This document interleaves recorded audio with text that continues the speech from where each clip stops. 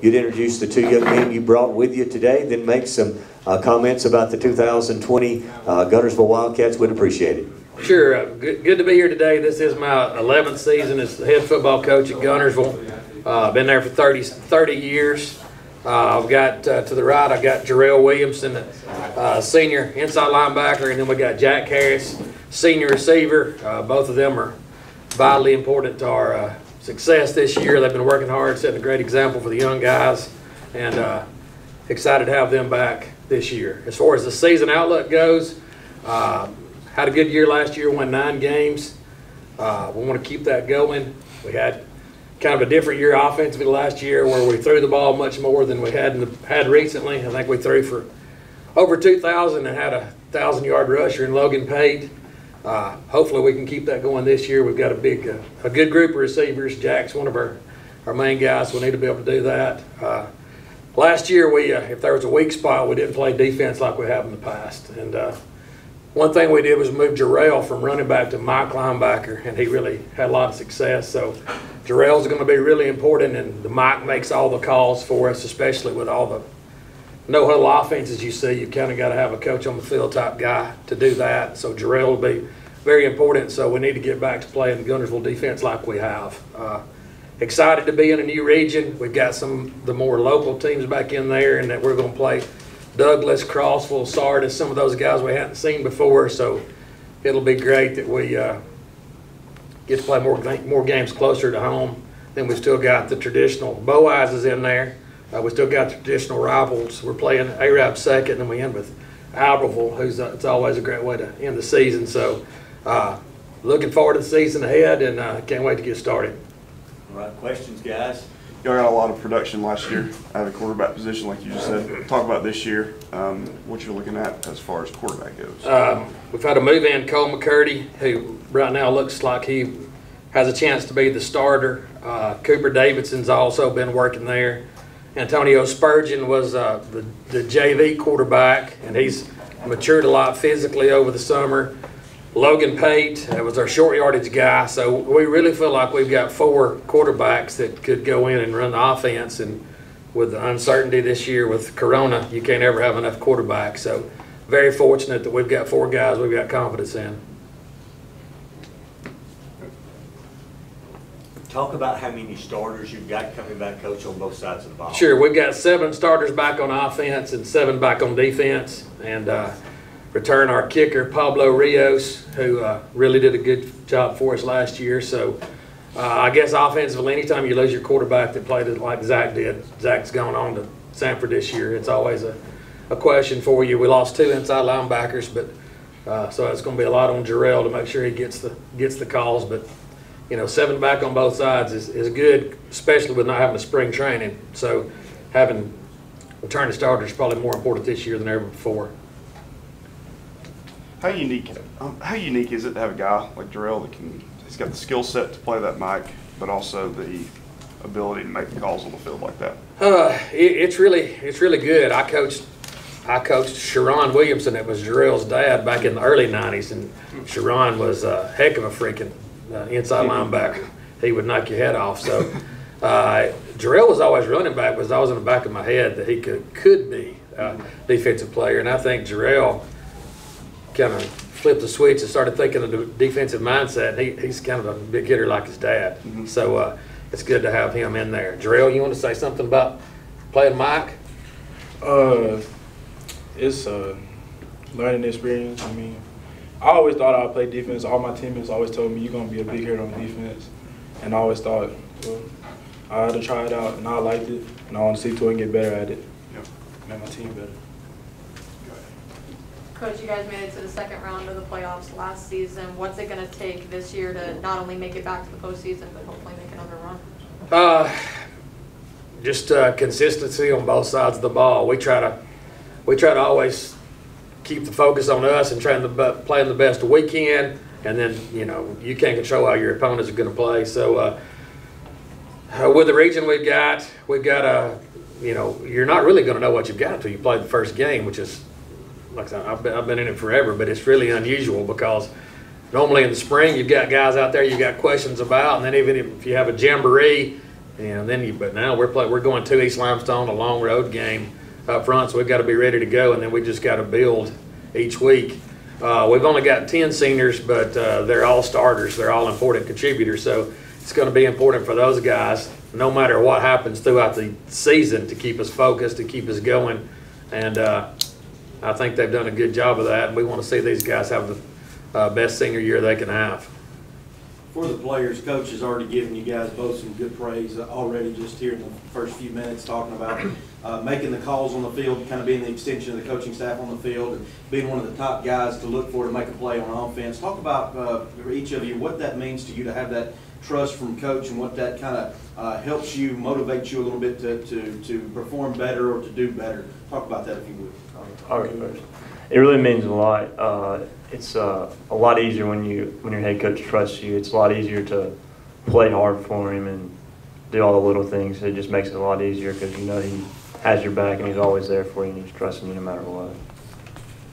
Similar to what Josh said, it gives you the more like the fight to make your team better, and you just strive to do it.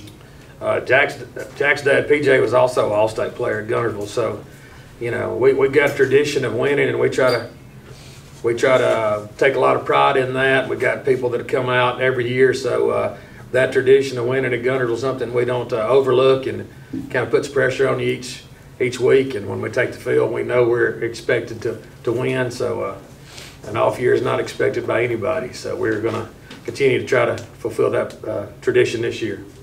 Guys, building on what Coach said, as a senior group, and you're, I see, I think you said only ten senior stars, have you guys come together and kind of talked about setting your goals and what you guys want to accomplish this year at Guntersville? Both of you comment. yes, sir. We have. We, we've all. Uh, we had senior pictures. We all like came together and just talked about how we can get better every day and what our goals are for the rest of the season. So I feel like we have a pretty good idea of what we want to do this year. Yes, sir. We uh, set goals to have younger people look up to us and do what we did, but do it better, and just make everybody around us better. You know, we've never really been one of those people that get together and decide at the beginning, we want to win ten, or we want to win the county, or we want to win the region. We just, uh, try to keep the focus on being the best we can be each week. And even, even in two thousand six, when we won state championship, as a coaching staff, we didn't talk about, uh, starting the season, our goal is to win the state championship this year. It was just to try to be the best we can be every week and try to focus on the game ahead. So, uh, you know, we're just gonna try to go in there week one and be ready for East Limestone and then hopefully get ready for Arab week two and then take it as it comes. So, but I believe if they do keep doing that, that we'll have a chance to have a, a good team this year.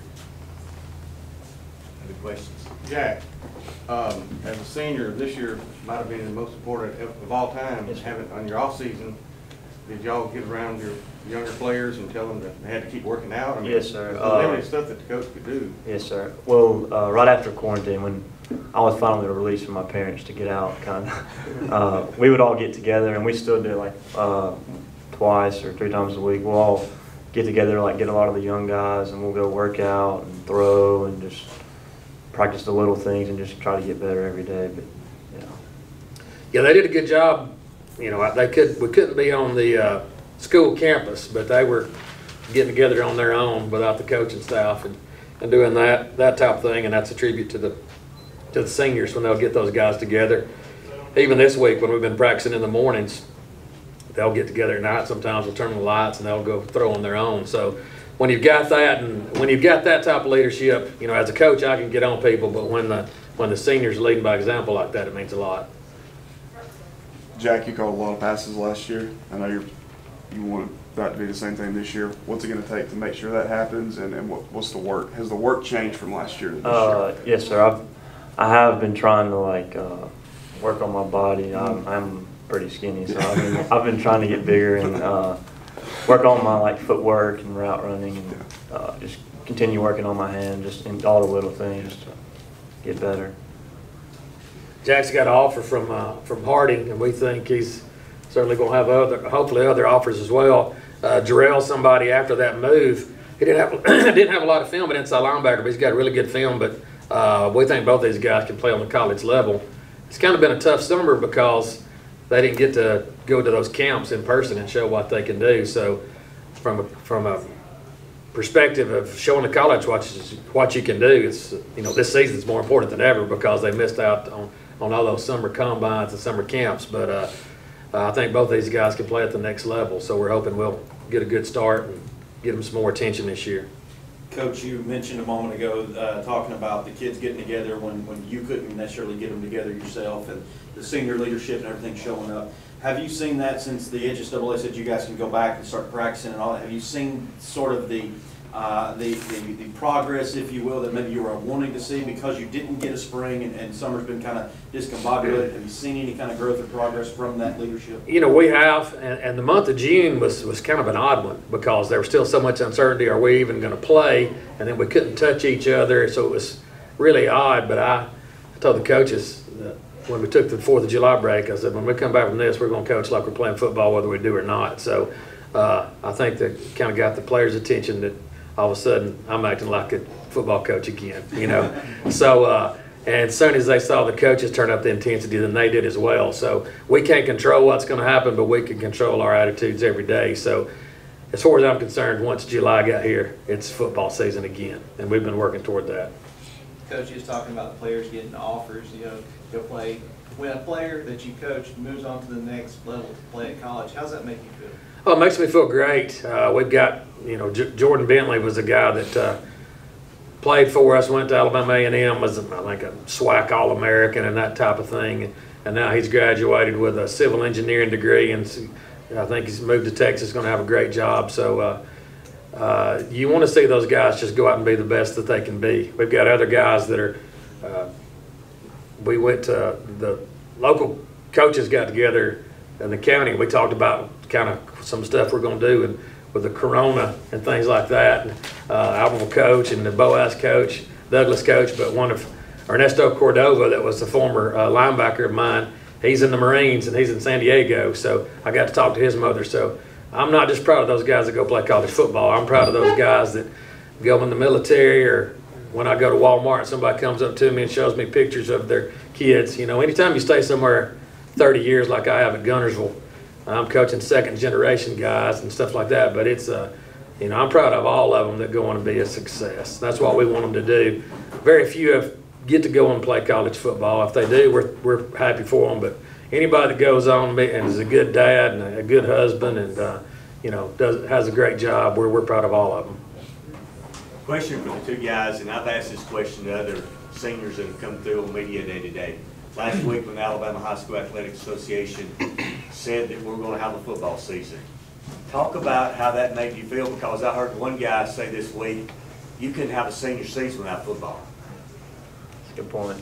Well, I think when I, well, I think when I first found out, I probably called Drill first and told Drill that we're gonna play, and it was, uh, it was really a great, it was a great feeling, because we know how hard we've worked this year and what we can do, so it's, it was, it was really, was a relief.